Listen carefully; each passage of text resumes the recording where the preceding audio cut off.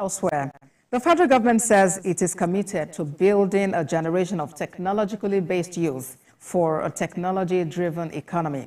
The Minister of Communications, Innovation and Digital Economy, Bosun Tijani, said this at a federal government education initiative Build-A-Thon program organized for secondary school students in Owerri, the Imo State capital. TVC News Prince Oba reports and will return with business news. Six. Only school. Initiative is an ecosystem program of the federal government to offer various learning opportunities in DIY boxes, technology labs, and workshops to enhance students' skills.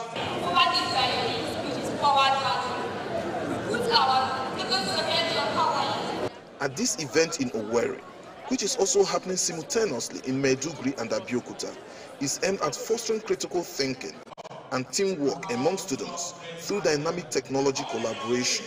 The Minister of Communication, Innovation and Digital Economy, who was represented at the occasion by his special advisor, said the ministry, in collaboration with a UK-based NGO, Raspberry Pi Foundation, are determined to raise a more technologically aware generation. One of the plans of the federal government is to create a pipeline of technologies, people who are going to build the nation using technology, who can scale ideas, who can scale innovation, and actually export this, you know, to the world at large.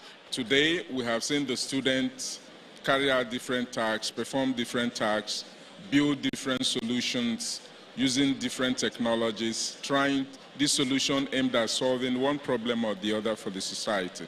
And this hall are uh, 500 students drawn from various secondary schools across Imo State with the aim of equipping them with essential skills and exposing them to the vibrant world of maker culture that will inspire them to become the innovators and problem solvers in the future. I was able to learn how to code with the Raspberry Pi and with the help of my people creating code language using binary words to configure many settings of different kinds of things. And I was even able to find out that with the help of our people, I'm able to configure any any little device of my choice. I've learned how to fix positive to negative to make something out of them, and I've learned how to like build and make positive living to add in technology. The Federal Ministry of Communication, Innovation and Digital Economy was created to foster a knowledge-based economy and information society in Nigeria.